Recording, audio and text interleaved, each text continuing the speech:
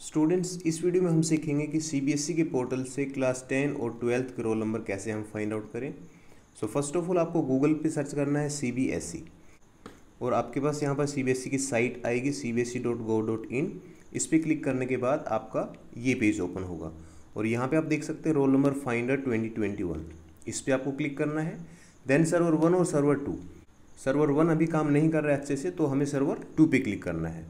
Server to पे click करने के बाद आपका ये पेज ओपन होगा और यहाँ पर आपको कंटिन्यू क्लिक करना है। अब यहाँ पर आपको आपकी क्लास सेलेक्ट करना है कि आपको क्लास टेन का रोल नंबर चेक करना है क्लास ट्वेल्व का।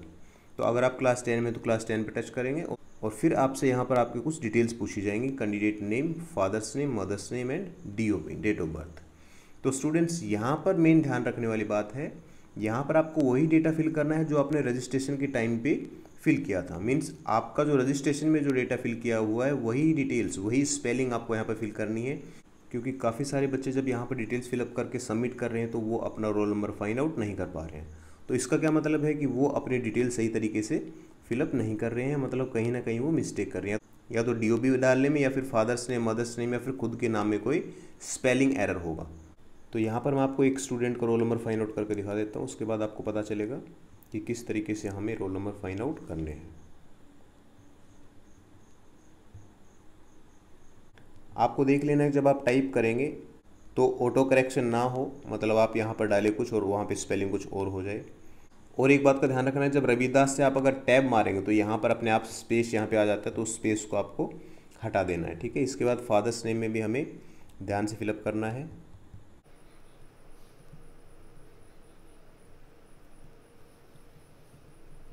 देन मदर्स नेम और उसके बाद में D O B D O B में आपको ध्यान रखना है। D D M M and Y Y Y Y और बीच में आपको स्लैश डालना है, ठीक है?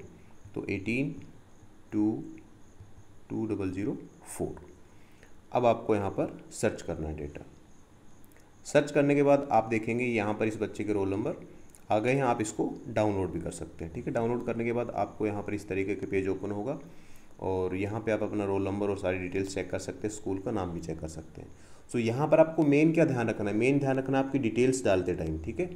रजिस्ट्रेशन के टाइम पे जो आपने डिटेल्स डाली होंगी वही डिटेल्स आपको यहाँ पर भी फिल करनी होंगी। अदरवाइज़ वो डेटा जो इस सर्वर पे डेटा उससे मैच नहीं होगा ठीक है? और उसी वजह से आपको दिखा रहा है नो रिकॉर्ड फाउंड तो आई होप कि आप लोगों को समझ में आया होगा कि आपको किस तरीके से अपने रोल नंबर फाइंड आउट करने हैं ठीक है?